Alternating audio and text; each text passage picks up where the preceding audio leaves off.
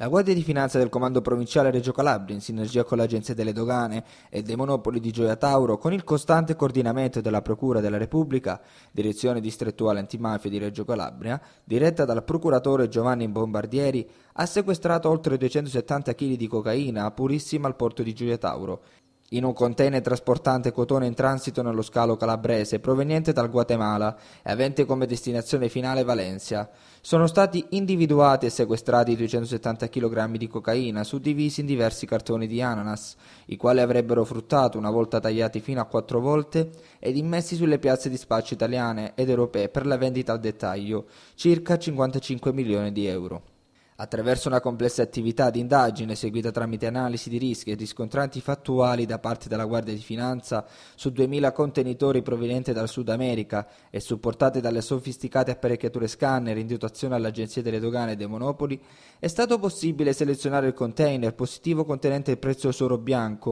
occultato tra la merce lecitamente trasportata e pronto per essere recuperato dai destinatari del carico. Le fiamme gialle regine ed i funzionari doganali non abbassano la guardia, svolgendo quotidianamente stretta sinergia con la costante direzione della Procura della Repubblica un'intensa attività di controllo sulle merci in arrivo o in transito per rendere sempre più efficace la lotta al traffico internazionale di cocaina, per il quale, nonostante i numerosi sequestri effettuati, viene ancora utilizzato anche il porto di Gioia Tauro.